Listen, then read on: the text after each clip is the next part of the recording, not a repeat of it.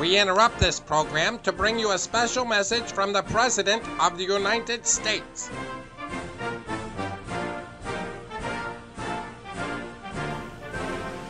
My fellow Americans, after consulting with my advisors or actually telling them what I think today, I signed Executive Order 135, which prohibits the sale and production of all white milk throughout the United States.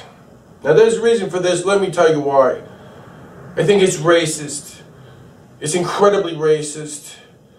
It just doesn't make sense. It's this kind of thing that's causing divisions in our country. And I want to make America great again.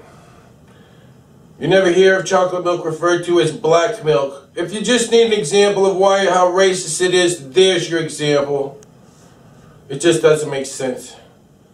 So today, in an effort to bring our country together, I'm banning all production and sale of white milk.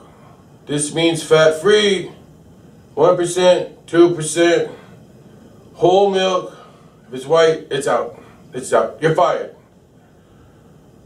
Further, in Section 2, I am authorizing a ban on all white milk from coming into this country from other countries.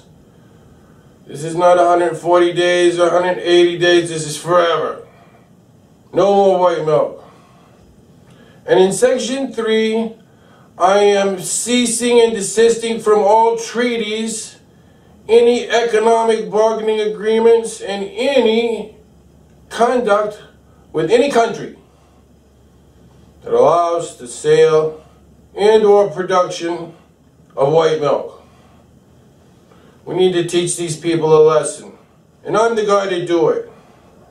So thank you for your time. I look forward to seeing you again very soon. Very, very soon. It'll be fabulous, I promise. Thank you, and good night.